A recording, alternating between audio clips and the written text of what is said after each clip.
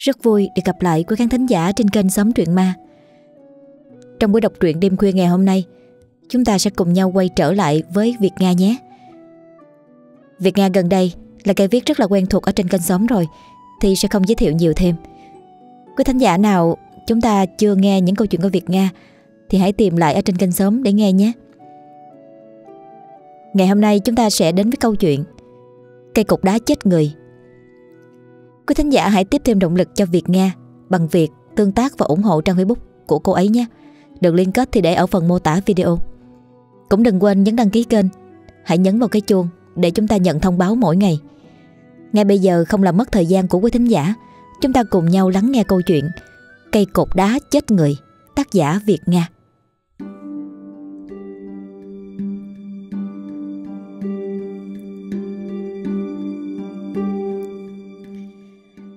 Hiện nay, cứ nói đến cao nguyên đá Hà Giang là người ta nghĩ ngay tới một nơi núi rừng hoang sơ, hùng vĩ, nhưng cũng không kém phần kỳ bí. Người dân thường đồn thổi đến một cột đá bí ẩn chết người từ thế kỷ thứ 18, cách đây khoảng hơn 200 năm. Tại vùng đường thượng Yên Minh, nơi có dòng sông Lô hung dữ chảy qua. Tương truyền ngày đó, có một thổ ti phong kiến người Mông, nổi tiếng gian ác tên là Sùng Chúa Đà. Hắn đã dùng cột đá này để tra tấn, trừng trị những kẻ phạm tội. Chuyện kể rằng, thổ tỳ Sùng Chúa Đà rất giàu có. Trong nhà lúc nào cũng có hàng ngàn con trâu bò, dê lợn, gà qué thì nhiều không kể xiết. Trai gái trong vùng đều làm thuê cho hắn. Ngày đó nhà hắn giàu lên nhờ việc đúc lót quan trên, bóc lột những người dân thấp kém ít học. Và còn bởi vùng đất này nổi tiếng với việc trồng và chế biến thuốc phiện.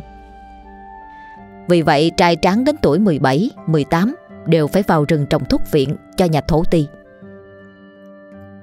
Hơn 200 năm đã trôi qua, những người từng chứng kiến tội ác của sùng chúa đà cũng đã thành người thiên cổ từ lâu. Nhưng tiếng ác về hắn thì vẫn còn được truyền miệng lâu đời. Từ người già đến người trẻ, bà con người Mông ở đây, ai mà không rõ. Bằng chứng là cây cột đá cao bằng đầu người Hai bên có hai cái lỗ Tương truyền rằng gã thổ ti ngày xưa đã sai người, khoét đá để làm nên cây cột trà tấn đặc biệt này. Nếu người nào bị thọ hình, sẽ bị đem giải lên cây cột đá, được dựng trên triền núi, rồi đưa tay vào hai cái lỗ đã được khoét sẵn. Quần áo bị lột hết ra. Tên thổ ti này bắt họ ôm chặt lấy cây cột đá. Mỗi người một bên không cần cho ăn uống gì hết.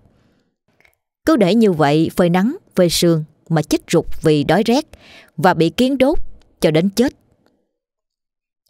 Những người dân ở gần đấy dù đã trải qua bao nhiêu năm nhưng hệ cứ đêm đến là lại nghe tiếng khóc than rên rỉ ở phía cột đá vọng xuống. Chẳng ai dám thò mặt ra khỏi nhà vào buổi tối. Trời cứ nhập nhọn là nhà nào nhà ấy ở yên trong nhà vì sợ những con ma rừng hoặc ma cột đá bắt mất. Những nhà có trẻ con lại càng sợ. Nhiều đứa trẻ biến ăn hoặc ham chơi hay nghịch phá toàn bị người nhà dọa nếu cứ không nghe lời, sẽ đưa lên cột đá của chúa đất cho ma quỷ hù dọa thì đứa nào đứa ấy sợ mất mật đi. Cây cột đá ấy nhiều oán khí đến nỗi trước đó người ta vô tình không biết, nên cứ đi làm nương về là rủ nhau lên đó nghỉ mệt một lúc, rồi mới vác cuốc vác cày về nhà. Nhưng đàn bà dựa vào cây cột đá thì dẫn đến vô sinh. Trai gái đi qua cột đá, về sẽ không lấy được nhau. Vì tử khí toát ra từ cây cột đá lớn quá, nên nếu đàn bà chữa mà đi ngang qua thì còn bị trụy thai. Nhất là những đôi trai gái ngoại tình nếu đi ngang qua đây hoặc đưa nhau lên đây tình tứ thì sẽ nhận được cái kết cục đáng buồn là tan đàn sẽ nghé, nhẹ thì về ốm đau liên miên, nặng thì còn mất mạng ấy chứ. Ngày xưa, vùng đất này đều do tên chúa đất sùng chúa đà cai quản. Vùng đất của hắn rộng đến nỗi trâu bò có cả hàng ngàn con, mà quanh năm ăn cỏ cũng không hết được. Chim cò bay mỏi cánh, thì đủ biết hắn giàu có cỡ nào. Vì giàu có, nên sinh thời sùng chúa đà, có tất cả chín người vợ. Nhưng chủ yếu, hắn nạp thê thiếp về để lấy danh thôi. Chứ thực ra hắn đã sớm mắc bệnh quai bị từ nhỏ, Nên làm gì có khả năng làm cha Vì vậy, các bà vợ của hắn Cứ ngày một mở màn, Nhưng hắn khác nào mở ra miệng mèo Mà mèo chỉ có thể ngửi Có lẽ như vậy, Nên hắn trở nên tàn ác Hắn ghen tuông kinh khủng chỉ cần nghe phong phanh có kẻ nào lén phén Với một trong các bà vợ hắn, Thì chẳng cần biết thực hư. Hắn sẽ cho người tra tấn cho đến chết. Trong nhà, Hắn cần nhất cô vợ thứ ba, Bởi cô vừa đẹp, Lại có tài dệt thổ cẩm Và hát rất hay. Cô cứ như một con chim khuyên của núi rừng, Nhưng có lẽ chính điều ấy Lại gây họa cho cô. Cô là con của một tổng giáp Người ở phố Cáo. Cô tên là Thảo Trinh. Thảo Trinh vốn ở nhà được cha mẹ cưng chiều từ nhỏ. Vì nhà có điều kiện Nên cô rất thích bay nhảy. Ngoài thời gian may vá, dệt vải Thì cô lại hay có thú vui đi chơi chợ cùng bạn bè. Nay bị gả về làm vợ của sùng chúa đà. Suốt ngày bị nhốt trong mấy dãy nhà Quanh năm kính cổng cao tường. Cứ như công chúa cấm cung Thì chán lắm đã vậy cô cứ như một bông hoa. Hắn cưới về để trưng làm cảnh. Chẳng hề có chuyện sinh hoạt vợ chồng Như bao gia đình khác. Mới đầu, cô lấy làm lạ. Sau nghe mấy bà vợ trong nhà kháo nhau, Thì biết rằng chồng mình không hề biết làm chuyện đàn ông. Vậy nên các bà ở đây Cũng chỉ chết già mà thôi. Thế thì khác nào cây cột nhà, Rồi dần già cũng trở nên mục rỗng, Héo mòn mà chết. Cô không cam lòng. Tuy Thảo Trinh là vợ ba, Nhưng cô lại trẻ trung và xinh xắn nhất. Cô không thích ngồi một chỗ, Chỉ thích bay nhảy bên ngoài, Chứ tù túng như thế này, Cô thà chết còn hơn. Biết tính bà ba là người ưa chạy nhảy. Một hôm bà cả bảo, Em ba này, Chị nói thật, Nếu là vợ của ông nhà, Thì em phải chấp nhận ở trong ngôi nhà này cả đời, Giống như chúng ta vậy chỉ cần bước ra khỏi cổng một bước thôi, Thì về nhà sẽ bị chặt chân đấy. Em đừng có dại dột mà bước chân ra ngoài. Nhưng người ta thường nói, Cái gì càng cấm đoán, Thì lại càng kích thích trí tò mò của con người. Cô ba cũng vậy, Lúc nào cũng ấp ủ trong đầu Ý định ra khỏi nhà Để hòa mình vào thế giới cỏ cây muôn thú bên ngoài. Nên cô chỉ nhằm nhe rình rập, Khi nào gã chúa đất đi vắng nhất định cô sẽ phải trốn bằng được ra ngoài. Cô cũng sẽ tìm cách về thăm nhà và bảo cha mẹ trả lễ chuộc cô về, chứ không chịu chôn vùi đời mình mà chết già với cái tên thổ ti này ở đây được. Và cuối cùng vận may cũng đến. Vào một ngày đẹp trời, tên thổ ti đi uống rượu với mấy gã quan Tây. Khi bóng gã vừa khuất, cũng là lúc cô bà lén trốn ra ngoài để về thăm cha mẹ. Cuộc sống bên ngoài nếu kéo cô. Có ra ngoài mới thấy mình thật sự là mình. Cô bắt đầu hót véo von như con khuyên Con khú trên rừng. Nhưng cô không vui vẻ được lâu, Thì dòng gió chuẩn bị kéo đến. Gã thổ tỳ đang uống rượu, Thì thấy có tên xã trưởng ghé tai thì thầm. Chẳng biết tên này nói gì, Mà hắn đang cầm chén rượu trên tay, Liền ném mạnh một cái, Vỡ toan ra. Miệng hét lên có thật không? còn đàn bà thối thà dám trái lệnh ta, Đi đàn đấm theo trai hả? Được rồi, Ta về thì nó sẽ chết với ta. Khốn kiếp! Vậy là gã bỏ cả rượu thịt Và mặt mẹ luôn mấy thằng quan tây Cho mấy lão chiếu dưới, Rồi hùng hổ đi ra về. Vừa về đến nhà, Gã nọc ngay bà vợ cả rau màu quát.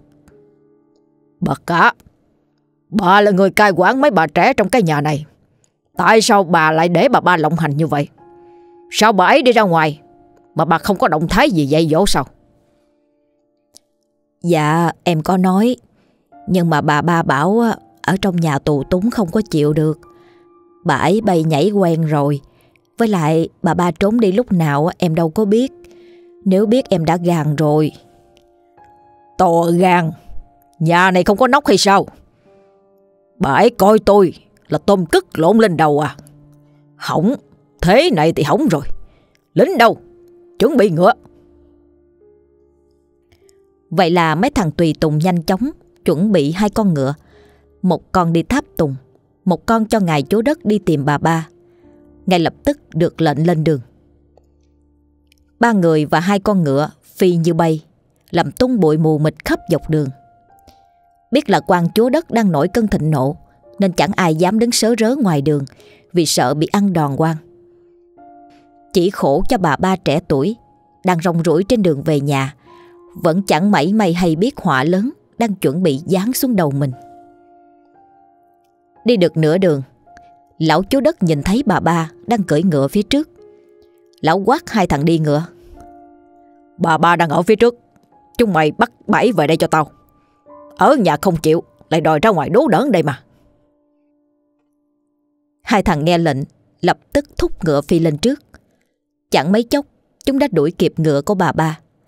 Lúc này bà đang hỏi thăm một người đàn ông bán đồ thổ cẩm vệ đường. Chợt nghe thấy một giọng nói quen thuộc. Dạ bẩm bà, ông bảo chúng con đi gọi bà về. À, thì ra là các anh à. Ở nhà buồn quá cho nên tôi muốn đi thăm cha mẹ tôi thôi mà. Dạ không được bà Bà theo chúng con về nhà đi Ông đang chờ ở phía trước Ông rất tức giận đó bà ơi.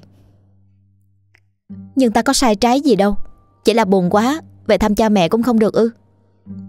Dạ chúng con không biết đâu. Chúng con thấy ông đang nổi trận lôi đình. Cho là bà đi theo trai đó à Bà liệu đường mà nói nhé. Nói xong, Bọn chúng bắt bà phải theo về. Vừa lúc đó lão sùng chúa đà Cũng phóng ngựa đến. Nhìn thấy bà, lão tức giận hét lên. Con đàn bà trắc nết kìa. Dám phá bỏ gia quy Nhưng lúc ta đi vắng Dám trốn đi theo trời hả? Đáng chết mà. Lỗi nó vậy chịu tội cho ta. Kìa lão gia Chỉ là tôi muốn về thăm cha mẹ cho đỡ buồn thôi mà. Ngoài ra không có ý gì khác cả. Mong lão gia xem xét à Không nói lỗi thôi. Về nhà ngay cho ta. Ngay khi lão phát ra câu ấy thì bà ba biết đời mình đã bị xuống địa ngục rồi. Lão chúa đất này có tiếng là bạo chúa tàn ác. Lão đã từng chôn sống người ở khi làm trái ý và bất kể tình thân. Hơn nữa, người không con cái thường bất chấp đạo lý và vô cùng bạc ác vì lão hận đời. Câu nói ấy giờ bà ba thấm thía thì e là quá muộn rồi. Ngày hôm ấy, lão sùng chúa đà đã ra lệnh cho đám tay chân rút một cây cột đá cao 1 mét chín và đem dựng lên ở đỉnh núi với phần ngọn được loe ra như hai cái tay. Ở hai bên lại được đục hai lỗ tròn để đúc vừa hai cánh tay qua đó. Trong khi chờ đợi cột khô, thì bà ba bị đem giam trong nhà kho tối tăm chật hẹp và cấm không cho ăn uống gì cả. Ba đêm liền như vậy, đám người ở trong nhà thấy bà cứ van xin đòi ăn nhưng tuyệt nhiên không ai dám đến gần. Luật lệ hà khắc do lão chú đất ban ra ai cũng sợ, chẳng dám bén mảng vì sợ vạ lây. Đến hết ngày thứ ba, thì bà ba được giải lên núi và dưới trời nắng chang chang. Bà bị lột trần truồng rồi bắt tay đưa vào hai cái khoen đá đó. Lão chú đất này còn nghe bọn chân tay xúc xỉm chỉ điểm nhằm một người thanh niên mà chúng cho là kẻ đã tặng tiểu với bà ba. Khổ thân cho anh này khóc lóc kêu oan, nhưng trời đâu có thấu. Cho dù anh lấy cả tấm thân của mình ra để thề nguyện là mình không hề có tư tình gì với bà ba, nhưng vô ích thôi. Lão sùng chúa đà đã bỏ tất cả những lời nói đó ngoài tai, rồi cũng cho người lục trần anh ra, áp vào mặt đá bên kia.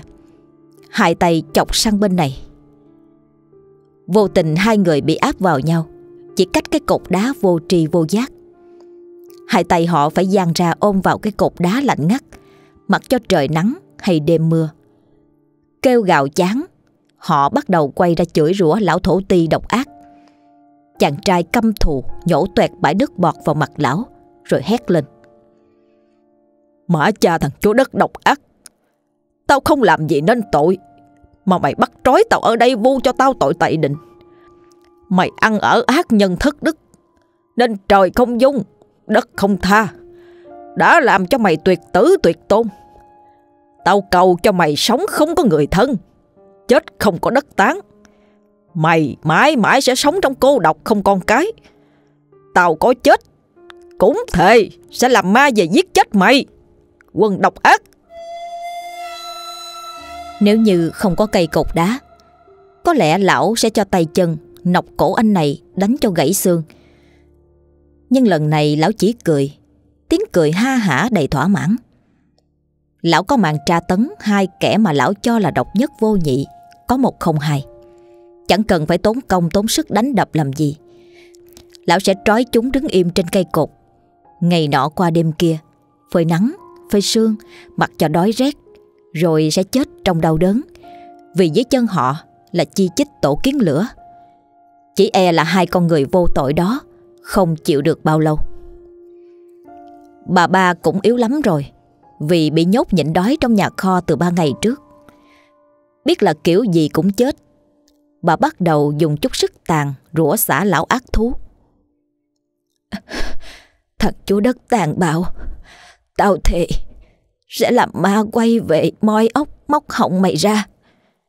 Cậu cho mày đi xong chết xong, đi đò đắm đò. Cả đời mày. Sẽ cô quạnh không người chống gậy. Chẳng người hương khói. Mày sẽ trở thành một con ma vất vưởng Giữa núi rừng Đông Bắc này. Thần rừng thần núi Sẽ thay tao về vặn cổ mày. Thằng trời đánh thánh vật. Mày giết tao đi Quân khốn nạn. Mày còn ác hơn cả loài cầm thú. Lão chúa đất chỉ đứng đó nhìn rồi cười khẩy. Đoạn thét quân lính ra về. Lão lệnh cho đám người nhà và dân bản ở đó. Tuyệt đối không ai được mang đồ ăn ra cho hai người bị trói kia. Nếu lão thấy ai bén mảng ra đó, Lão sẽ đánh chết không tha. Chỉ khổ cho hai người vô tội, Bỗng chốc bị vu oan giáng họa cho tiếng xấu, Rồi bị trói gô cả lại, Không biết sẽ chết lúc nào. Trước khi bỏ đi Lão thủ ti còn sai người nhét dẻ vào mồm hai kẻ kia Cho họ không thể kêu cứu rồi mới bỏ về. Đất trời bóng chốc chao đảo. Một tiếng sét nổ vàng xé toạc thinh không, như sự tức giận của thiên lôi giáng xuống. Cả một vùng rừng núi đường thượng ngay lập tức tối tăm mù mịt. Mưa gió giông bão giật liên hồi. Hai con người tội nghiệp kia cứ đứng dựa vào cây cột đá câm lặng, mắt nhắm nghiền, vừa đói rét mà không thể làm được gì. Thật đau khổ lắm thầy. Đêm hôm ấy Trong khung cảnh núi rừng âm u tịch mịch Hòa lẫn tiếng một vài con nai tác lên Trong đêm đen Và tiếng dê kêu như ri Là những tiếng rên rỉ yếu ớt Phát ra từ cổ họng hai con người. Họ đã kiệt quệ lắm rồi. Phần vì đói Phần vì rét cắt da cắt thịt. Đôi mắt họ đã khóc không biết bao nhiêu là nước mắt Vậy mà không có một ai Chẳng có một phép màu nào cứu họ thoát khỏi nơi này cả. Mấy gia đình ở gần rìa núi chứng kiến cảnh này thì thương lắm. Họ thương bà ba và chàng trai trẻ, chẳng may dính phải lão bạo chúa này. Họ căm ghét lão chúa đất. Người vợ nói với chồng. Ông ơi, thương họ quá à. Hay ông canh chừng cho tôi đi, để à, tôi đem ra cho họ ít cơm cháy nha. Nhà vẫn còn mấy củ sắn luộc nữa. Nó bắt người ta nhịn đói cả mấy ngày nay. Khéo bà ba chết mất ông à. Ôi ôi nhà nó ơi Bà không biết xung quanh đây Đều có lính nhà lão canh gác nghiêm ngặt hay sao? Khéo chưa cho ăn được Thì bà cũng bị nó chém bài đầu rồi đấy. Mình thương họ thì cầu mong cho thiên lôi Dán lôi điện xuống Vật cổ chết tội cái thằng chúa đất đó đi.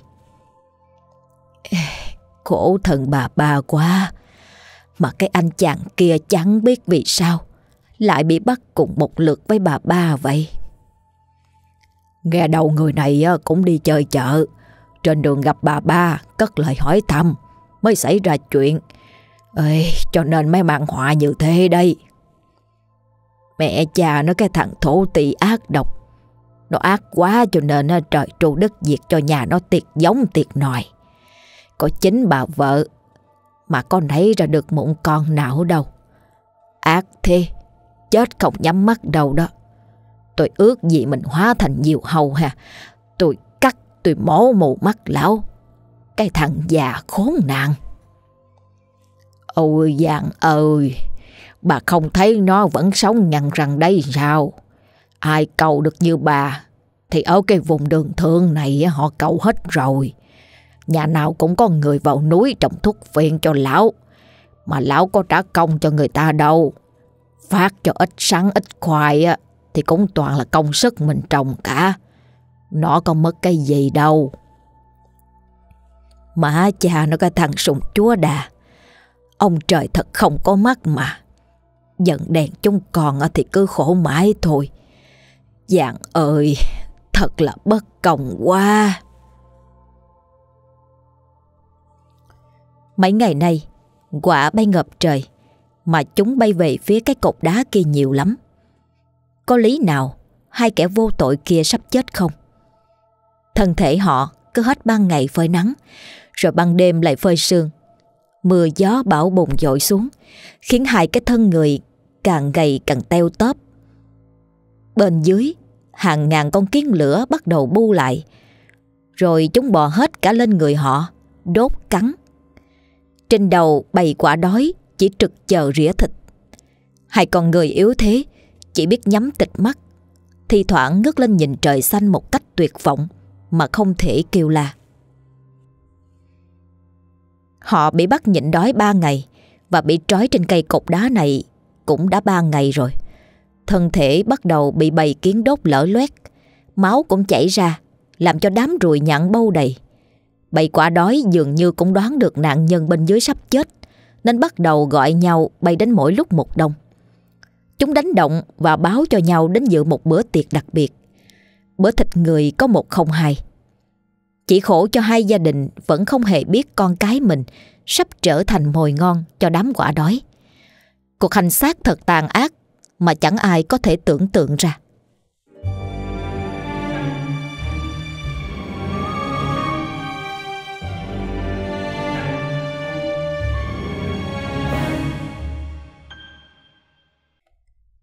Trong nhà lão thủ tỳ hôm nay, quan cảnh lại trái ngược. Đám người làm đang nhộn nhịp chuẩn bị cổ bàn cho lão thiết đãi quan Tây.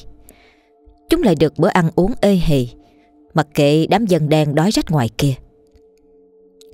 Mấy bà vợ lão cứ như mấy cây cột nhà, chỉ làm màu cho lão lấy danh thôi.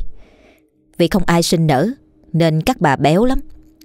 Việc duy trì nòi giống là chức năng của người phụ nữ, nhưng cũng bị bỏ quên. Thì nhìn họ khác nào chỉ là những con vịt bầu tịch đẻ. Thật là chua xót và cay đắng lắm thầy Bà cả bảo với bà hai Giờ bà ba chắc cũng sắp chết rồi. Tôi thấy quả kêu nhiều lắm. Hôm nay là ngày thứ ba rồi còn gì. Bà hai chép miệng. Ê, Cũng tại bà ba to gan. Chị em mình đã cảnh báo như thế rồi Mà chẳng nghe thì chết chắc. Một khi à, đã gả vào nhà thổ ti thì chỉ được cái sướng tâm thần thôi. Chứ à, đường về quê mẹ thì đừng có mà mơ. Chỉ cần bước chân ra khỏi dinh thự thì cầm chắc cái chết rồi. Ai bảo làm vợ chú Đất là sướng đâu nào.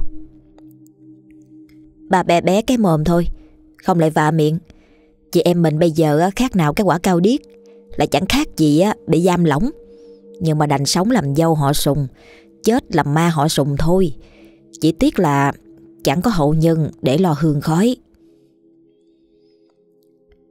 Trong khi ấy tiệc đã được bày ra Đám quan quân lại châu đầu vào ăn uống linh đình. Ăn xong, chúng còn được hút thuốc phiện Nhà lão thổ ti có hẳn một gian dùng để tiếp quan trên. Trong phòng lúc này đã được bày biện sẵn bàn đèn trên chiếc sập gụ. Mấy thằng hầu cận cũng sẵn sàng tiêm thuốc phục vụ các ngài quan lớn. Một lão quan nhìn thấy mấy bà vợ của chúa Sùng đẩy đà như vậy thì ngứa mồm mà nói Nhà ngài thổ tỳ Trâu bò dê lợn đầy chuồng. Lúc nào ờ, cũng đông đàn dài lũ. Mỗi người là hiếm nhỉ? Ừ. Hoàng chỉ được cái chăm vợ tốt thôi. Bà nào bà ấy ờ, béo mầm ra, Bà chả chịu đẻ đái cái gì nhỉ? Lão thổ ti bị xỏ xiên, Thì điên lắm. Ấy cái trò đời, Khi người ta yếu kém cái gì, Thì lại chỉ muốn giấu nhẹm cái đó đi. Chứ chả ai thích bị người khác chọc ngoáy vào làm gì. Nhưng bị thằng quan trên đâm bị thóc Chọc bị gạo như thế Lão điên lắm. Điên mà chả làm được gì Thì nó lại càng hậm hực. Nổi giận phát tiết cả lên mặt Làm đảo nóng tiết Hận không thể đâm cho thằng quan trên một nhát mà thôi. Lão bụng bảo dạ Mày cứ rõ gì ông đi. Ông chỉ mong cho mày hả, trúng gió lăn đùng ra chết. Để ông lên thay cái chức của mày. Đời không nắm tay từ tối đến sáng được đâu con. Mẹ nó tiên sư, Cái loại chỉ giỏi vơ vét đầy túi tham. Ông là ông khinh. Nhưng nghĩ là nghĩ như vậy thôi, Chứ cấm có dám nói ra. Vì đường đường, Lão đó cũng là quan trên của lão. Nếu chả may để lão giận, Thì thiệt hại đủ đường. Nên mặc dù trong bụng tức như bò đá, Mà ngoài mặt có phải giả lả cười nói xu nịnh? Thế mới tức chứ. Lão quan hồi nãy lại ghé vào lão quan Tây Mà tắm tắt. Nhà quan thổ ti này à, không hổ danh là giàu có nhất vùng. Nguyên nhìn cái cơ ngơi này thôi à, Cũng đủ biết quan nhé. Nói rồi, Lão lại chặt lưỡi, Làm bộ ngưỡng mộ. Lão chúa đất thì biết tổng cái bụng muốn vòi vĩnh của lão rồi. Đang tiếc ngẩn người vì tới đây kiểu gì? Chả phải mất vài con dê đúc lót. Đang cay cú, Vì chả có cách nào chơi lại lão quan họ triệu. Thì lão quan Tây vỗ bụng đứng lên, Ra chiều muốn đi tiểu. Lão liền sai thằng Hầu Dẫn ra nhà sau để đi giải quyết nỗi buồn. Lão Tây này đi ngang qua bà vợ tư của sùng chúa đà. Chẳng biết hứng chí thế nào, Lại đưa tay vỗ bột một cái vào mông của bà ta, Rồi cười lên ha hả. Khoe cái chầm râu dê Nôm đến là điểu. Mẹ nè Tiền sư cái lũ sâu mọt. Bố mày mà lên được chức Thì bố vặn cổ chúng mày đem nướng. Tiền sư cha mồ tố nhà mày. Cả bọn ăn uống no say. Cuối cùng là đến cái màn mong chờ nhất. Chúng bắt đầu khệnh khạng Lê sát vào gian chính Để thưởng thức các nàng tiên nâu Mấy thằng hầu lần lượt tiêm thuốc viện Cho mấy lão quan phê pha. Lần này, Lão quan họ mã nói, Ông chú đất xem thế nào Để lấy vài ba đứa làm giống. Chứ mà nhà thì giàu nứt vách, Mà không có thằng chống gậy à, Thì cái đám dân ngô cô đen, Nó vào nó phá ngay. Hay là ông để tôi gửi cho một đứa nha. Chả biết lão đùa hay thật. Mà nghe xong câu này, Lão thổ ti hận tím mặt, Hầm hè chửi bới trong bụng. Mẹ bố nó Nó lại thi nhau sắc muối vào nỗi đau của ông. Không để chúng mày là quan, Thì ông sai lính nó tống cổ ra cổng dần cho mỗi thằng trăm rồi rồi. Mẹ bố nó cái quân ăn tàn phá hại, Ăn uống thỏa thuê nhà ông, Mà vuốt mặt không để mũi. Từ nãy giờ chúng mày chối ông hơi nhiều rồi đấy. Trong khi nhà lão đang ăn uống thỏa thề Thì trên núi, Hai kẻ đang thở những nhịp thoi thóp cuối cùng trên cột đá. Bên dưới chân họ Là hàng triệu con kiến đang bò lõm ngõm khắp người. Mấy ngày qua, Chúng đã đốt hai người đến mân mũ Còn trên đầu Quả đen thi nhau rỉa thịt. Chúng thấy hai con người to lớn bên dưới Đã bị trói nghiến, Chả làm gì được, Thì không còn sợ hãi nữa, Mà lao vào con thì mổ vào mắt Con thì rỉa tai Miệng con nào con ấy kêu lên những tiếng quạ quạ Đầy tang thương Chẳng mấy chốc Hai kẻ xấu số đã trơ ra những xương thịt Khuôn mặt giờ chỉ còn trơ lại hai hốc mắt Tất cả thịt da đã bị đám quạ rỉa tha không thương xót. Hai người lần lượt tắt thở, chấm dứt chuỗi ngày đau đớn, sống không bằng chết vừa qua. Trời đang yên ắng, bỗng chợt sấm chớp nổi lên ầm ầm. Thiên lôi phóng lưỡi tầm sét xuống, soi tỏ hai cái thân hình nham nhở, chỉ còn như bộ xương. Trên khuôn mặt bây giờ, chỉ còn nhe ra hai hàm răng trắng ẩn, Họ đã chết một cách đầy thống khổ. Tiếng con chim lợn kêu lên en ét Từ chỗ hai người chết.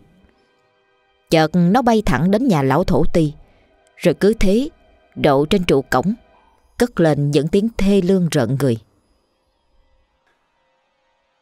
Mấy bà vợ lão hoảng lắm. Trong nhà chưa bao giờ có hiện tượng chim lợn bay lên như thế này cả. Đúng là điềm báo tang thương. Bà vợ Tám nói với bà Chính. Bà thấy không? Chim lợn bay đến nhà thì không phải chuyện đùa rồi. Nhất định là chị ba đã chết rồi đó. Cho nên chim này mới bay về đây báo tin. Không biết tới đây nhà này còn xảy ra những chuyện gì nữa. Chị em mình nhìn thấy mà làm gương đi. Dẫu có phải chết trục xương ở đây á, Cũng phải chịu, Chả dám bỏ trốn đâu Đêm hôm ấy, Nhiều người trong làng nằm mơ thấy Có hai bóng trắng phất phơ Bay từ cái cột đá đi quanh làng Họ đi đến đâu Thì cất lên tiếng khóc thề lương đến đấy Người nào người nấy sợ mất mật vì họ vẫn chưa biết bà ba và anh trai trẻ kia Đã chết rồi chỉ nghĩ đó là hồn ma bóng quế của người nào đó về dọa người thôi. Cuộc sống yên bình nơi đây có thể bị khuấy đảo từ bây giờ bởi một tội ác tày trời mới chỉ bắt đầu cho chuỗi ngày tai ương sắp tới. Lão thổ ti đang ngủ, chợt thấy hai bóng người, một nam, một nữ trắng toát đi từ cổng vào. Lão dụi mắt mấy cái, thì đúng là bà ba và thằng trai. Lão gầm lên như chó sói. Bậy đâu? Chúng mày trông coi bà ba kiểu gì Mà để nó thoát ra được mò về đây. Khôn hồn thì đem chúng Trói lại trên cái cục đá kia đi. Ông không tin chúng có thể thoát chết được. Một tuần không chết Thì mười ngày cũng sẽ đi chào ông bà ông vải thôi. Đang yên đang lành về phá giấc ngủ của ông. Cúc mẹ chúng mày đi. Đừng để ông điên lên. Thì ông cắt tiết cả đôi rồi vứt cho chó nó đấy nha. Nhưng cho dù Lão có kêu gào khản cả cổ, Thì cũng chả thấy thằng hầu nào đi vào. Không biết chúng ăn phải cái thứ gì Mà ngủ như chết. Còn bà ba và thằng trai kia Thì hình như không biết sợ. Nghe lão quát xa xả như vậy, Mà cứ lừ đừ tiến vào, Đến gần lão. Cả hai nhe hàm răng ra cười Rồi từ trên mặt Trên hốc mắt của họ rồi nhạn bay ra vù vù. Có cả dòi bọ. Chúng có thể chui ra từ thất khiếu, rồi bò lõm ngõm dưới đất. Chúng còn búng tanh tách đến gần lão nữa. Hoảng quá, lão hét lên. Cứu tao, bọn mày cút hết đi, thứ ma quỷ chứ không phải người. Từ hai khuôn mặt gớm ghiếc, máu bắt đầu nhễu ra. Tiếng của bà ba hét lên. Thằng chúa đất chết tiệt kia, Mày đã giết chết tao một cách đầy man rợ Tao sẽ không tha cho mày. Mày vu oan giá quả cho tao. Thằng trời đánh, Quả tha ma bắt mày. Còn chàng trai kia Cũng đưa đôi bàn tay xương sẩu Quào về phía lão, Gầm lên. Mày sẽ chết không được toàn thây đâu. Đồ thằng ác độc, Ngày nào chúng tao cũng về. Dọa cho mày sống không bằng chết. Lão sợ hãi, Đái ra cả quần Và lăn ụt một cái xuống nền nhà. Cú ngã đau điếng Làm cho lão tỉnh hẳn. Hóa ra, Đó là một giấc mơ. Một giấc mơ kinh hoàng Mà thật quá đổi. Nhất định sáng mai lão sẽ phái mấy thằng hầu lên chỗ cột đá xem thực hư thế nào. Liệu hai kẻ mèo má gà đồng kia còn sống hay đã chết. Bà chính nằm bên lão vẫn đang ngủ say sưa, chả biết gì cả. Có lẽ mấy ngày nay luôn bị ám ảnh bởi sự phản bội của bà ba mà lão đâm ra mộng mị chăng? Thế là từ lúc đó trở đi, lão thức luôn cho đến sáng, không thể ngủ tiếp được. Sáng hôm sau, mới tình mơ, lão thủ tỳ đã thúc hết đám người ở dậy. Đầu tiên, Lão phân phó mấy thằng tay sai lên ngay triền núi Xem hai người bị trói kia thế nào rồi về cho lão hay. Còn lại Lão tập trung hết lại trước sân Rồi bắt đầu gằn giọng thị uy.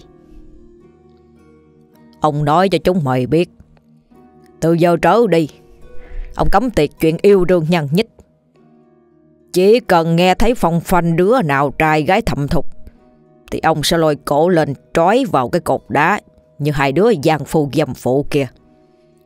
Chúng mày trong gương rồi đấy. Ở nhà ông được ăn ngon ngủ ấm thế này, Thì tuyệt đối không có chuyện đồi bại nghe chưa? Thôi, giải tán. Một lúc sau, Mấy thằng hồi nãy được phái đi Cũng về tới. Nó vừa vào đến nhà Đã mồm miệng thi nhau thở hổn hển. Nó nói Dạ bẩm ông Đúng là hai người đó đã chết rồi à. Mà nhìn ghê rợn lắm ông ơi. Họ chết mà mặt mũi bị quả rỉa hết à. Người ngọm thì kiến bu đầy Lỡ loét mưng mũ Máu mè ờ, Vãi vãi kinh, kinh khủng lắm ông ơi. Đem vứt chúng vào rừng cho ông. Từ giờ trở đi Ông cấm không đứa nào được nhắc đến hai kẻ mèo mỡ ấy trước mặt ông nghe chưa? Thôi cút Vậy là hai con người khốn khổ ấy Lại một lần nữa chết đau đớn. Coi như họ bị chết tới hai lần. Giờ đã chết Nhưng thân thể nào có được yên Không được chôn cất Lại còn bị đem vứt vào rừng Làm mồi cho thú dữ. Thật là tội ác Trời không dung, đất không tha. Lão chúa đất này quá ư là tàn độc. Chính vì quá tàn độc Mà lão đã bị trời lấy đi mất Cái khả năng làm cha. Âu cũng là nghiệp báo. E rằng lão cũng không thể đường hoàng Sống yên ổn được. Bà ba chết đi. Nhưng phải cả tháng sau tin tức Mới được truyền về quê nhà bà Ở phố cáo. Cha mẹ bà như ngất đi khi hay tin. Họ tưởng gả con cho lão Thì con họ sẽ một bước lên bà. Chẳng ai ngờ, Lão chú đất kia Lại làm ra cái trò khốn nạn như vậy. Làm cha làm mẹ, Khi nghe tin ấy, Ai mà không đau lòng cho được. Ông Thào bảo vợ, Bỏ hết cả đây đi, Tôi với bà phải đi đến nhà họ Sùng, Đòi con, Để xem cái thằng Sùng chúa đã ấy Nó ăn nói làm sao. Quân giết người tàn ác mà. Mình không thể đi một mình được đâu ông. Phải kéo cả họ hàng đi thật đông để Thủy Uy á. Thì nó mới sợ chứ. Chỉ có hai vợ chồng già mình như thế này Chả làm ăn được gì đâu. Nghe bà nói có lý Mặc dù ông rất đau đớn Nhưng cũng phải nén đau thương Để đi tập trung họ hàng Rồi cùng nhau bàn bạc phương án Để bắt thằng thổ ti phải đền tội. Người ngựa, gậy gộc Chỉ mấy tiếng sau đã tập trung cả ở nhà ông bà Thào Chinh Rồi bắt đầu kéo nhau đến nhà tên chúa đất hung ác. Họ đi mất cả ngày đường. Cơm nắm, cơm vắt mới đến được trước cổng dinh thự của sùng chúa đà. Thấy đám người gậy gộc đông đúc đang lầm lầm trong tay Mặt hầm hè giận dữ đứng ngoài cửa. Đám thằng hầu hoảng quá chạy vào bấm Bẩm ông Bên ngoài có rất nhiều người ngựa Đang lâm le gậy gộc Chửi ông ở bên ngoài đó ạ Bọn bay có nhận ra kẻ nào mà to gan như vậy không? Để ông ra xem chúng nó là những kẻ nào Mà to gan lớn mật như vậy. Dạ Hình như là cha mẹ của bà ba đến đòi người đó à? Lão, con gái lão hư hỏng đi theo trai, Bôi trò trắc chấu vào mặt ông, Nên ông phạt chết là đúng rồi. Nhà lão còn định kéo xuống đây Làm càng hay sao? Lão chống cái bà toàn đi ra ngoài thì tiếng ngựa đã hí vang Vó kêu lập cập. Tiếng ông Thào đã oan oan tức giận. Thằng sùng chúa đà độc ác kia Mày mau ra đây. Mày đem con gái của ông đi đâu hả? Mau trả con gái lại cho ông. Mày là quân bảo chúa. Nói đi Mày đã làm gì con gái ông? Lão chúa đất thấy đông người Thì cũng hơi chợn. Lão khựng lại rồi hét lên. Con gái các người hư đốn là vợ ta mà không yên phận, Trốn đi theo trai. Thì ta phạt Có thế thôi. Ta cũng không đánh, Không giết. Chỉ phạt trói vào cây cột trên triền núi. Cả đội giang phù dâm phụ lên đó cho chúng tự sinh tự diệt. Sống được hay không là do trời. Tại sao lại trách ta? Đoạn lão lại gần giọng. Trời cho sống thì được sống, Bắt chết thì phải chết. Lão muốn tìm con gái á thì đi lên truyền núi, Chỗ cái cục đá thiên mà tìm. Đừng có bao giờ bén mảng đến đây nữa. Nhà ta và nhà lão từ nay, Ân đoạn nghĩa tuyệt. Cút hết đi. Không ta báo quan. Gô cổ tất cả lại bây giờ đó. Chúng bay à, định làm phản hay sao? Cút mau. Ông bà Thảo biết mình đã yếu thế rồi. Nó lại vu oan cho con mình như vậy. Thì tình cây Lý Giang biết nói làm sao? Cuối cùng, Họ lại phải ngậm đắng nút cây rời đi. Mong rằng đến cục đá thiên kia, Đem xác con gái về an táng. Nhưng lẽ đời đâu có đơn giản. Đến nơi Thì thấy cây cột đá Vẫn đang đứng sừng sững Như trơ ra cùng tuế nguyệt, Thách thức tất cả mọi người. Nhưng cây cột đá trống không. Vậy thì xác con ông bà ở đâu? Chúng đã đem bỏ nơi nào rồi? Giữa thinh không mờ mịt đất trời. Nơi rừng núi hoang vu. Ông Thào chợt nghe thấy tiếng vọng bên tai. Cha đến muộn rồi cha. Chúng nó đã cho người ném xác con vào rừng, Cho tú hoang ăn rồi còn đâu.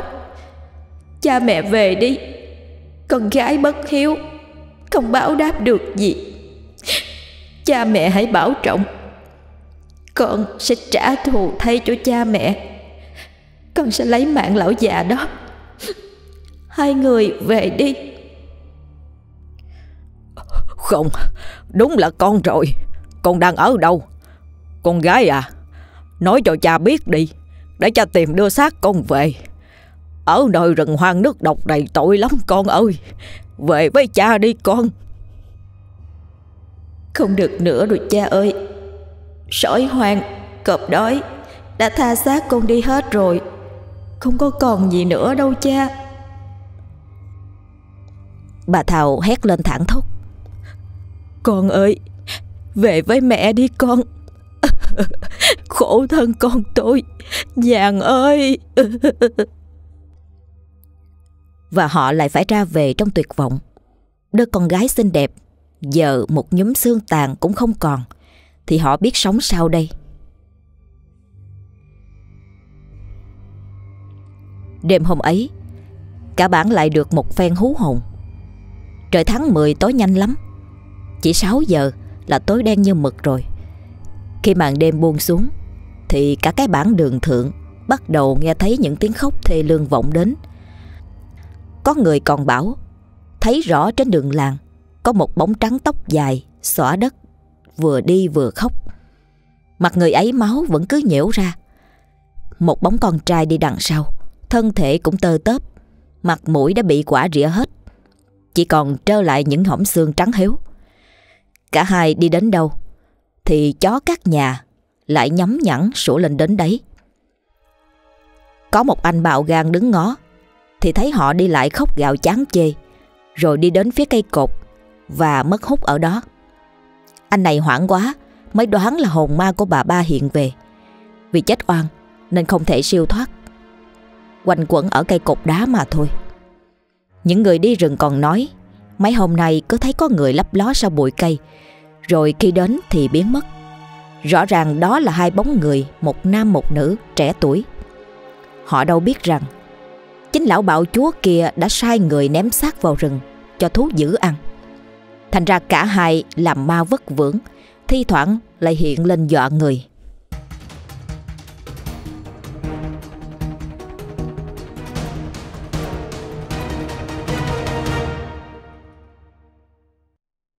Một ngày nọ Có đôi vợ chồng đi làm nương Đến trưa mệt quá, Mới đến gần chỗ cột đá nghỉ mát.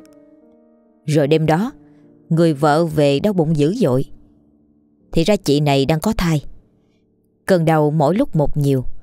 Mặc dù anh chồng đã tìm đủ mọi cách, Vẫn không hết. Bà Lan cũng được mời đến để xem mạch. Nhưng bà chỉ lắc đầu Và nói mỗi một câu. Hỏng rồi Chị nhà đã bị sảy thai, Không cứu được nữa. Nhưng sự việc kỳ quái Không dừng lại ở đó, Mà còn tiếp tục xảy ra. Trong làng có một đôi trai gái yêu nhau, Tối đó rủ nhau đi dạo quanh bản.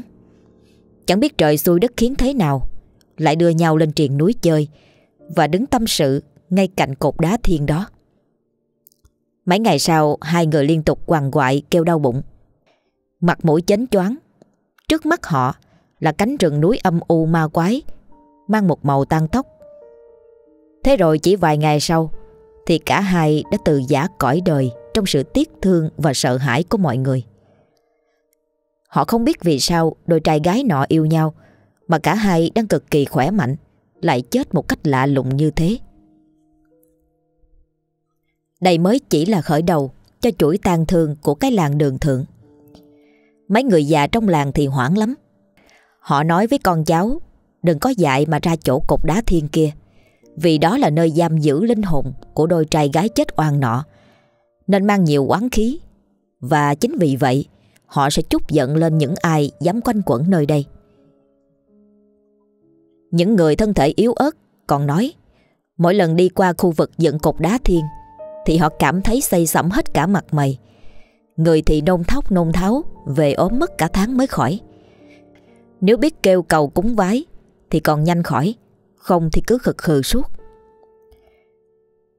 Trong nhà lão thổ ti có hai đứa hầu yêu nhau nhưng chúng bí mật đến nỗi chẳng một ai trong làng biết.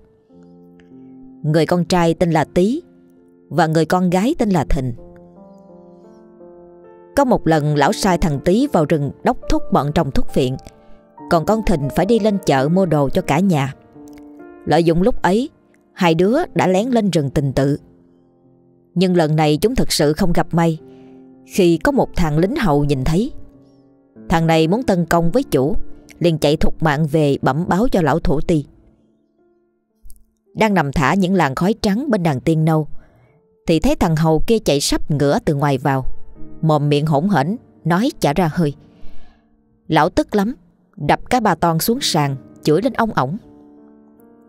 Má cha nó cái thằng chết bầm kìa Mày mù hay sao mà mày không nhìn thấy ông đang phê thuốc ở đây hả?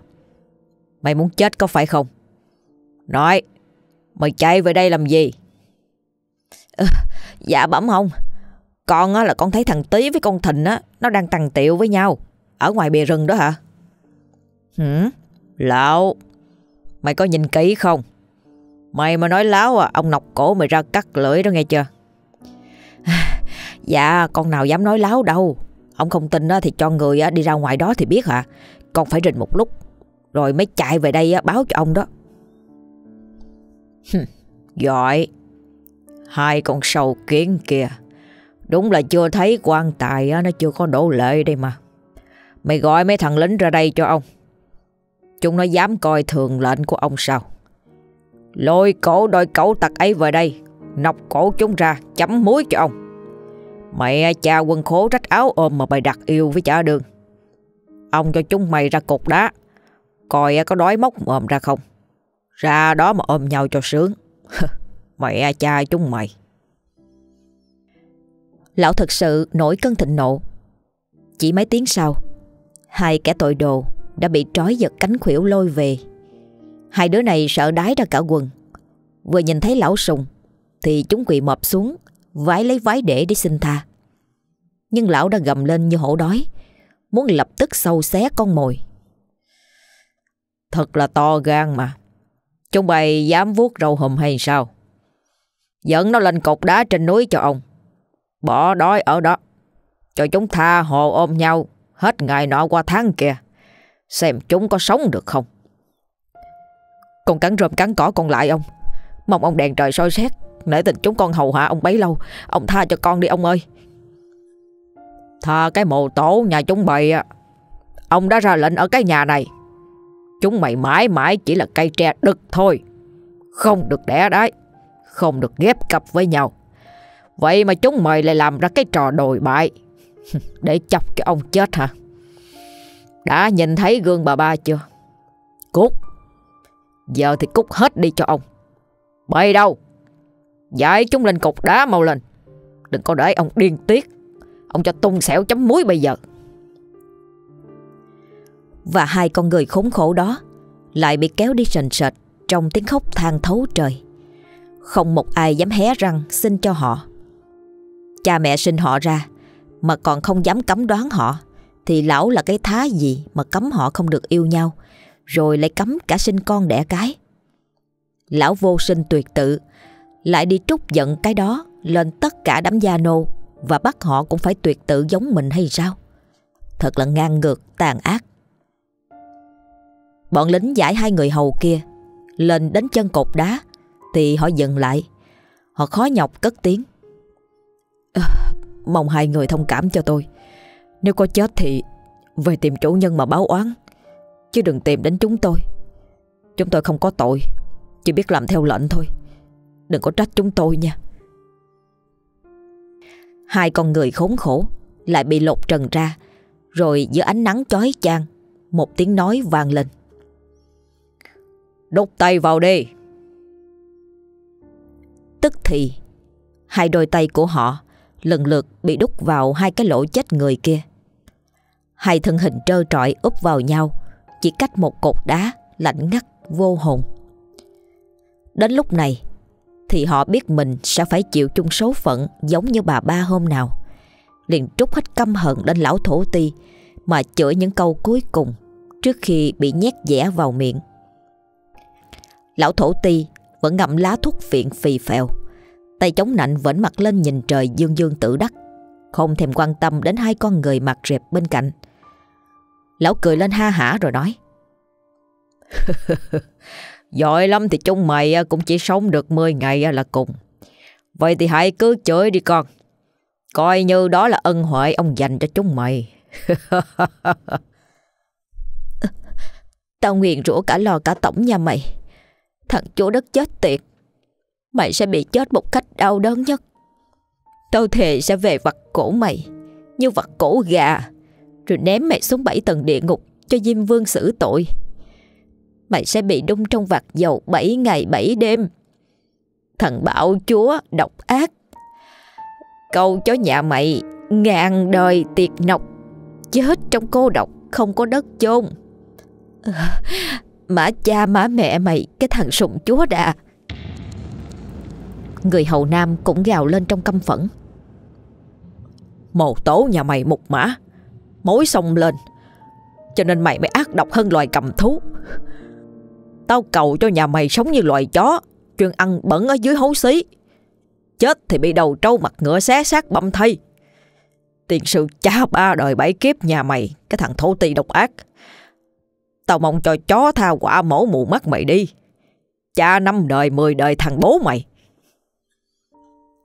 Bình thường Ai dám động đến cái tên cúng cơm của lão? Thì chỉ có nước bị lão sai người đánh cho một trận, Thừa sống thiếu chết rồi đem trói ngoài chuồng trâu, cho đám trâu bò hút chết. Nhưng nay lão không thèm đếm xỉa đến hai con dung đang chuẩn bị dậy chết. Lão càng dương dương tự đắc, thì hai người lại càng tức điên lên. Họ vung hết lời ra để rủa xả lão, và cuối cùng giây phút không mong chờ cũng đã đến. Lão vung tay một cái nói giọng trịch thượng. Đủ rồi, Nhét dẻ vào mồm chúng cho ta. Để đây xem chúng nó ôm nhau Mà nhìn ngắm đất trời được mãi không? Bọn yêu đương nhăn nhích Thề bồi vớ vẩn này.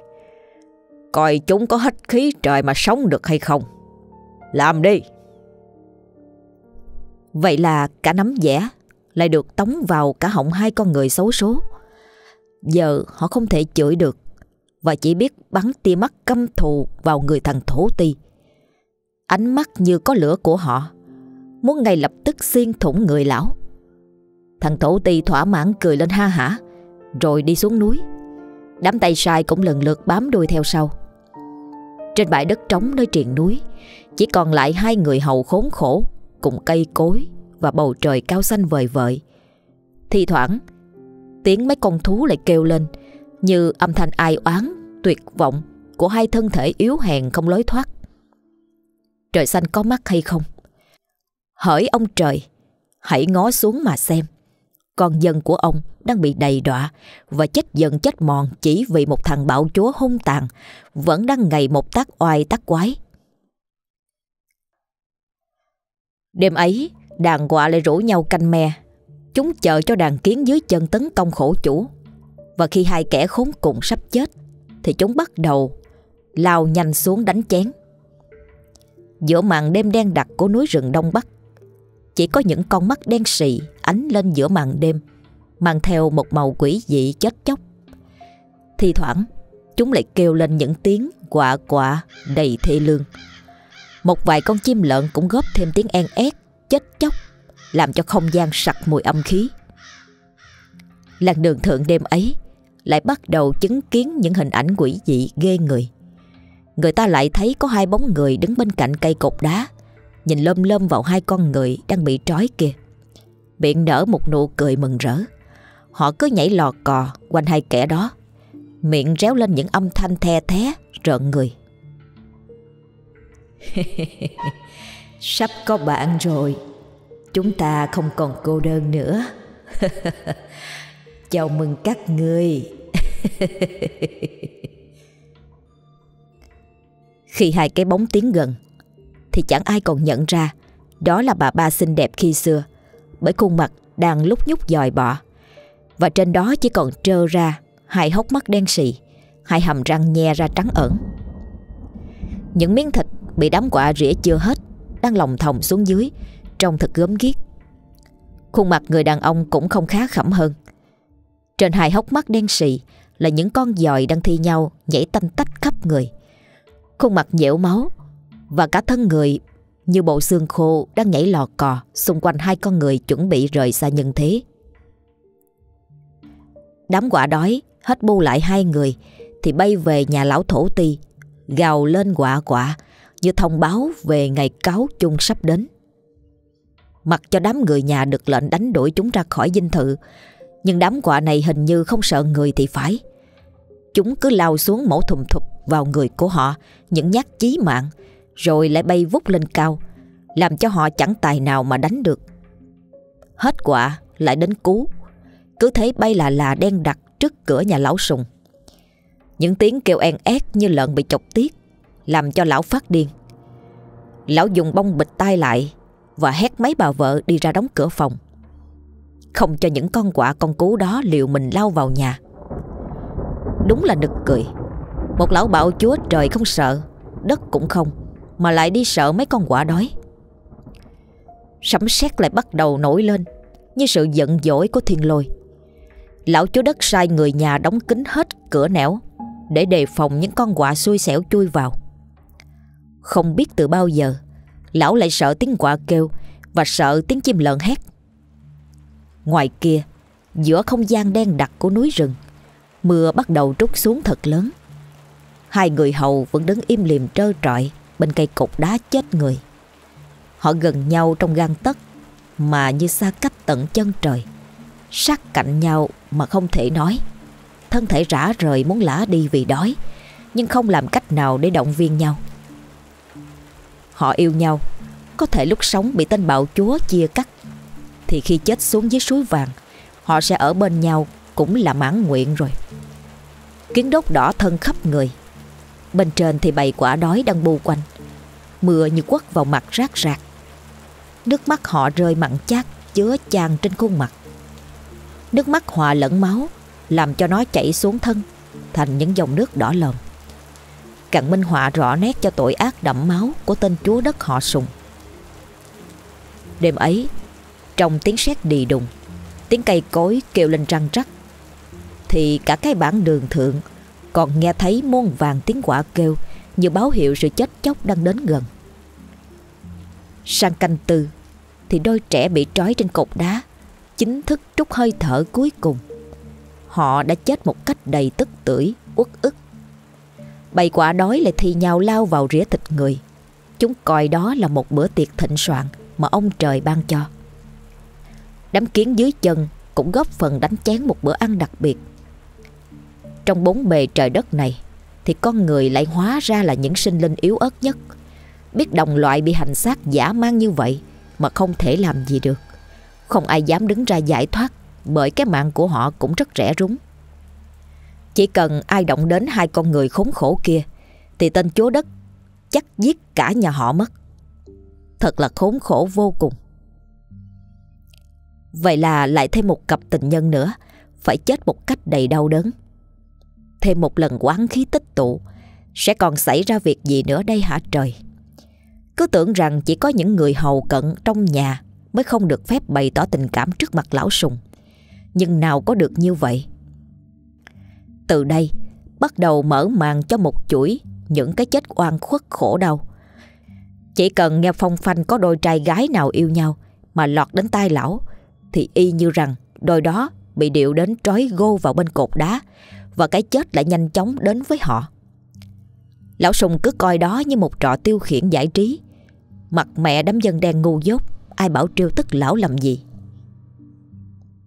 Họ căm thù lão, chỉ biết cầu nguyện cho trời đất, Diêm Vương mau đến lấy mạng của lão cho yên ổn lòng người. Tại sao lão gieo nhiều tai ương như vậy mà vẫn sống nhăn răng, còn người vô tội lại bị tước đi mạng sống một cách quan khuất. Mạng họ quá rẻ rúng, còn không bằng tính mạng của những con bò, con dê trong chuồng nhà lão. Tại sao? Lời nguyền về cây cột đá chết người không biết vì sao lại có và nó ứng nghiệm lên tất cả mọi người, nếu cả gan đến gần. Trước không biết, thì còn có một số người bị sảy thai hoặc nhẹ thì ốm đau quặt quẹo khi đến gần nó. Thậm chí có người nặng còn bị mất mạng. Những đôi trai gái đang tìm hiểu nhau mà bén mảng đến đó thì chỉ có tan đàn sẽ ngé mà thôi. Dần dà người dân cấm tiệc mọi người không được lai vãng đến đó nữa. Họ nói đó là cây cột đá thiên hay cái cột đá giết người vì nó chứa đầy quán khí. Chỉ bất công vì tại sao nó không giết chết chính cái kẻ đáng chết kia mà lại đi giết người vô tội thì chẳng ai lý giải nổi. Một thời gian sau, người ta không thấy lão chú đất đâu. Cổng nhà lão vẫn cứ đóng cửa im ỉm. Có việc gì thì đã có đám lâu la thầy lão đứng ra giải quyết. Công việc vẫn tiến triển đều đều và đám phô thuốc viện vẫn ngày ngày vào rừng trồng và vận chuyển thuốc viện làm giàu cho lão. Chỉ có người trong nhà mới biết lão vì sau mấy ngày nay toàn ở trong nhà không ló mặt ra ngoài vì tự dưng lão bị mắc một bệnh lạ. Cả thân người lở loét, những mụn nước cứ thi nhau chảy.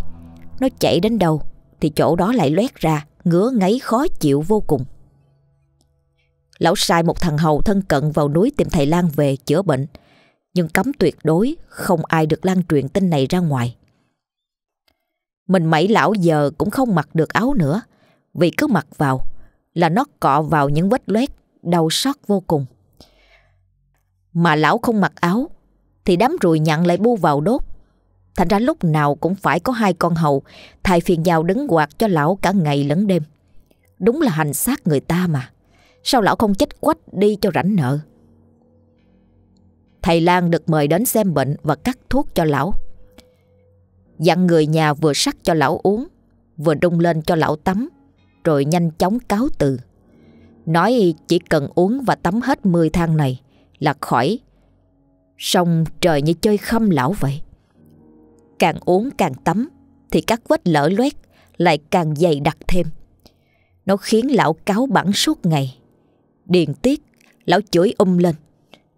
Mẹ, cha nó cái thằng thầy lăng dám Dám hại ông mày à. Quân bay đâu? Mày đi tìm rồi mày lôi cổ lão về đây cho ông trị tội. Tổ cha nó không biết ông là ai hay sao, Mà dám vuốt râu hùm hả? Bắt được nó, Ông cho xéo thịt đem nướng cho chó nó ăn. Tiền sư nhà nó, Chọc máu điên của ông. Đám người hầu tuy không nói ra nhưng trong bụng mừng húm Họ nghĩ đã đến lúc Lão phải bị trừng trị rồi Cho đáng đời Từ hôm bị bệnh đến giờ Bà Tám, bà Chính cũng kiếm cớ chuồng không dám ngủ với lão vì cái mùi tanh tưởi từ người lão bốc ra. Thành ra chỉ lại khổ cho mấy con hầu. Đúng là phận con sâu cái kiến, sao mà nó khổ quá. Mấy bà vợ nhìn thấy vậy thì cũng kinh. Mà chẳng hiểu sao bụng lão càng ngày càng phình to ra như cái trống cơm. Thì thoảng, lão lại lấy tay gãi sồn sột. Và thấy có thứ gì đó bò lõm ngõm bên trong, cứ như có hàng ngàn con dung sáng ở trong ấy. Lão bị bệnh gì chẳng ai biết. Có vẻ như ngày tàn của lão sắp đến rồi. Biết đâu lời nguyền của bà ba bây giờ mới có tác dụng. Lão sẽ phải sống những ngày cuối đời Và chết trong cô độc. Có như vậy vẫn chưa hả dạ nỗi đau của bao người vô tội Phải chết dưới tay lão Họ chỉ mong cho lão chết thật nhanh Để cái luật hà khắc ấy được bãi bỏ Chỉ có thoát khỏi nơi này Thì họ mới có tương lai đi tìm hạnh phúc của mình mà thôi Mấy bà vợ hình như cũng có cùng suy nghĩ. Họ chỉ sợ khi lão còn hiện hữu, chứ một khi lão đã ra ma, thì các bà cũng tết. Chả ai dại ở lại cái nhà toàn là tội ác này. Thế mà cũng phải cả tháng sau, lão chú đất mới chết. Cái chết đến với lão thật đau đớn, thống khổ. Những ngày cuối đời, hầu như chẳng đêm nào lão ngủ được. Hình như hồn ma của bà ba và những người chết oan luôn hiện về đòi mạng. Lão cứ hú hét ngang đêm, làm cho đám người ở bị nhiều phen đứng tim. Đúng là người ác, thì trời tru đất diệt là có thật. Mới đầu thì họ còn tỉnh dậy xem ông chủ thế nào. Nhưng sau thì mặt lão muốn gào bao nhiêu thì gào. Họ cứ như mù, như điếc, như câm. Mà kể ra đám ma quỷ về lấy mạng lão chết ngay lại hay. Mấy bà vợ cũng nghe tiếng lão kêu gào, nhưng chả ai buồn sang. Họ cứ vờ ngủ say như chết. Thế rồi trong một đêm mưa gió bão bùng, lão sùng chúa đà chợt mở cổng đi ra. Lão cứ đi, đi mãi. Bàn chân trần bắp té liên tục. Nhưng bên tai lão, tiếng thì thầm vẫn vang lên bên tai. Bàn chân cứ bước thấp bước cao. Cuối cùng lão đến được chân núi. Từ từ leo lên phía cái cột đá thiên. Giờ nhìn đen ngòm cứ như một người khổng lồ lạnh ngắt, thâm u. Như có ma lực, lão bắt đầu cởi hết quần áo, rồi mặc kệ mưa rét, cứ đi như thế đến bên cây cột thò tay vào hai cái lỗ và ôm chặt lấy cái cột. Cây cột đá lạnh lẽo toát ra một thứ keo dính, cứ dán chặt người lão vào, không tài nào cựa quậy được.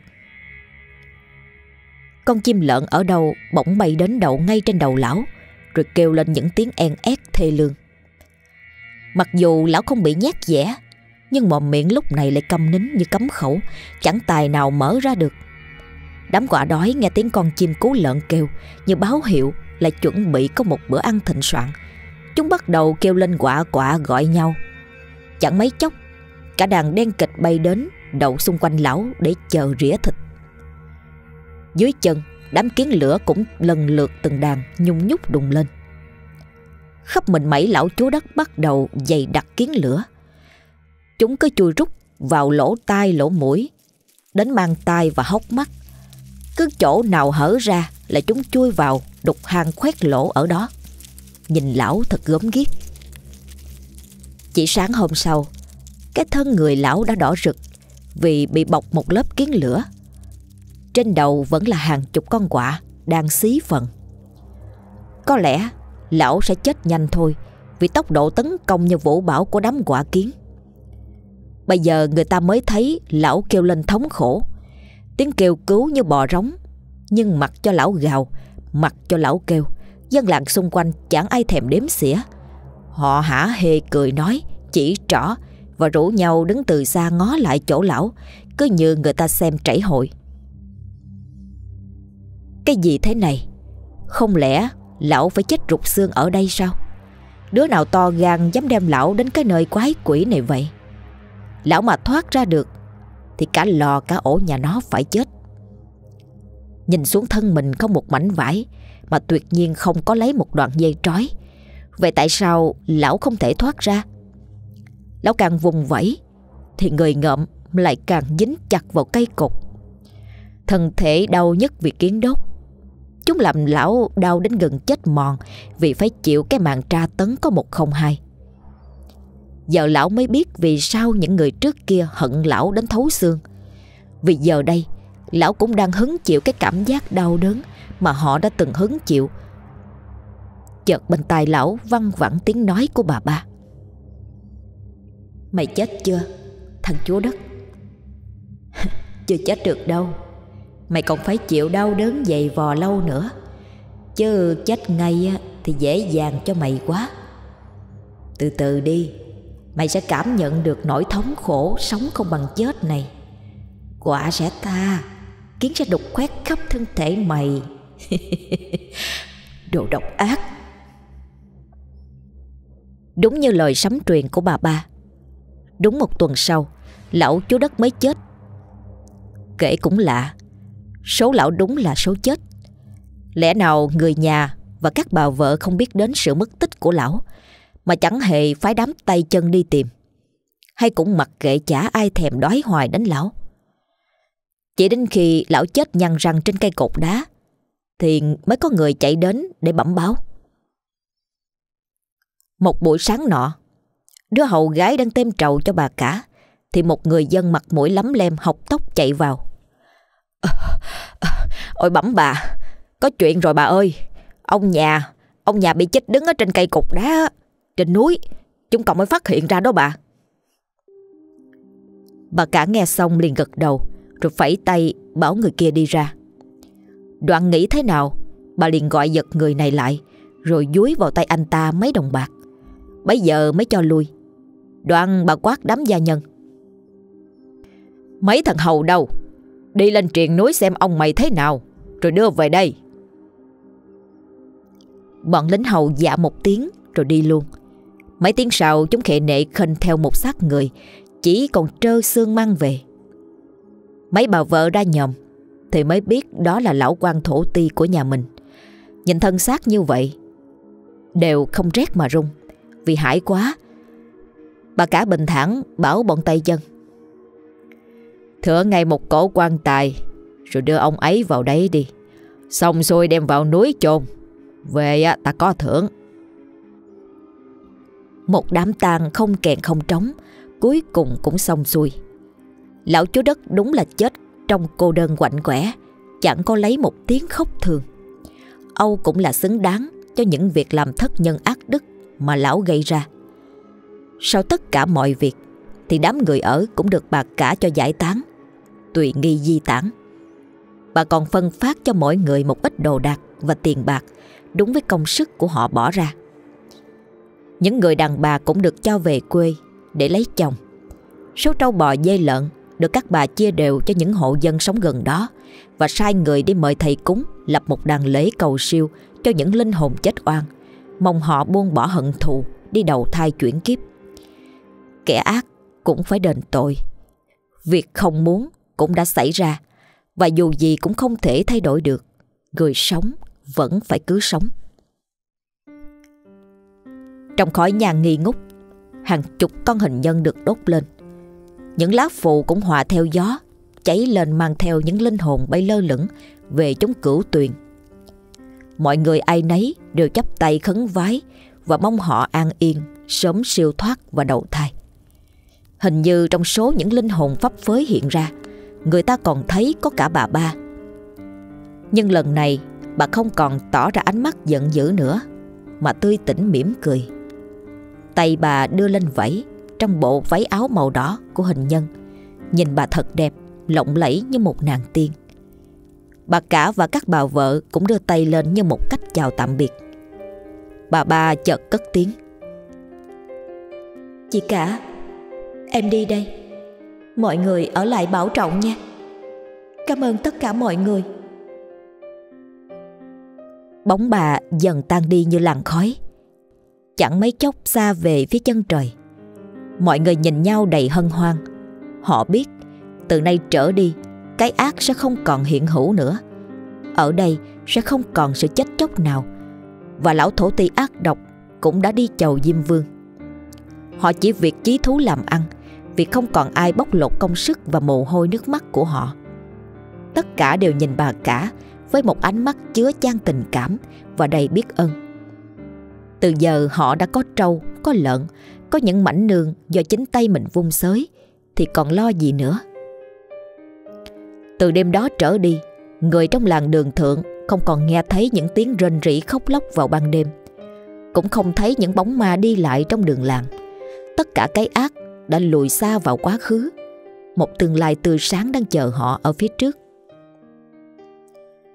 tuy không còn mơ thấy ác mộng hay nhìn thấy ma quỷ hiện hình nhưng các thế hệ đời sau không muốn thấy tội ác hiện hữu. Khi mà ngày ngày, họ vẫn nhìn thấy cái cột đá chết người đang sừng sững trên sườn núi như một minh chứng của cái ác vẫn còn đó. Nhìn nó, mọi người lại nghĩ đến những cái chết tang thương và những lời đồn đại ma quái. Họ nói, mặc dù bà ba và những linh hồn đã đi đầu thai, nhưng quán khí ở đó vẫn còn rất nặng, nên trai gái yêu nhau mà ngồi tự tình nơi cột đá kia thì kiểu gì cũng vỡ tan. Người nào có thai đi qua kiểu gì, về cũng xảy thai. Người bình thường đi qua, nhẹ thì về ốm đau hoặc quẹo, nặng thì không khéo còn mất trí, dở điên dở dại. Nếu người nào chưa có con, chẳng may dựa vào cây cột, thì có khi vô sinh, tuyệt tự luôn. Những lời đồn ma mị cứ vì thế được theo dệt nên các cụ cao niên trong bản một hôm bàn nhau tập hợp đám trai tráng phải bằng mọi cách đẩy đổ cái cột đá kia lăn xuống vực thì may ra những lời nguyện mới không còn ứng nghiệm. Người ta nói ngày xưa bà ba bị chết oan đầy đọa trên cây cột đá này cho đến chết nên trước khi chết bà mới trút giận lên lời nguyện. Giờ đây tuy bà đã được siêu thoát nhưng lời nguyện thì bị ấn lên cây cột đá vẫn y nguyên, không được hóa giải. Mà một khi cột đá còn, thì vật chứng về tội ác của tên chúa đất vẫn có hiện hữu. Nó khiến cho người dân nơi đây luôn bị ám ảnh một cách đầy ma quái. Và thế là vào một ngày đẹp trời, đám thanh niên trai tráng theo lời các cụ già và được thầy cúng cho đeo vòng trừ tà để các hồn ma bóng quế không ám được. Bắt đầu tiến hành đẩy đổ cây cột đá. Sau bao cố gắng, cây cột lúc nào cũng hiên ngang đứng giữa trời, trơ gan cùng tuế nguyệt, đã bị đẩy đổ. Trong âm thanh yên ắng tịch mịch, chợt vang lên một tiếng vọng tựa như núi lở. Cả cây cột đá to cao bị đẩy rơi xuống vực. Từ đây chẳng còn một thế lực tâm linh nào còn ám ảnh những người dân nơi này nữa.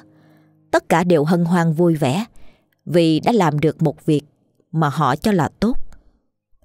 Khi mọi việc xong xuôi, trời đất như trong xanh trở lại, cây cối reo vui, lòng người như mở hội.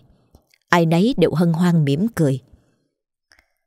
Chỗ dinh thự nhà lão chú đất sau đó đã bị bỏ hoang vì không còn ai ở đó nữa. Các bà vợ mỗi người một phương.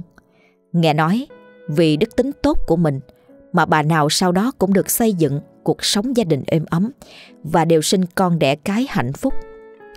Còn sùng chúa đà lão chú đất độc ác cuối cùng cũng dần đi vào quên lãng. Nếu ai ở xa có hỏi đến câu chuyện này, thì người dân nơi đây đều kể vanh vách cái quá khứ đau thương một thời. Cuộc sống ấm no đã đến trên vùng đất này và tất cả những gì về tên chúa đất năm xưa giờ chỉ còn là hoài niệm, một giai thoại buồn của một thời phong kiến xa xôi.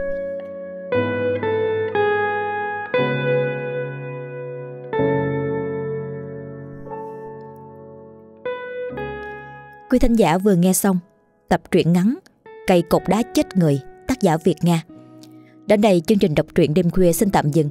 Chúc quý thính giả một đêm ngon giấc. Thân ái, chào tạm biệt.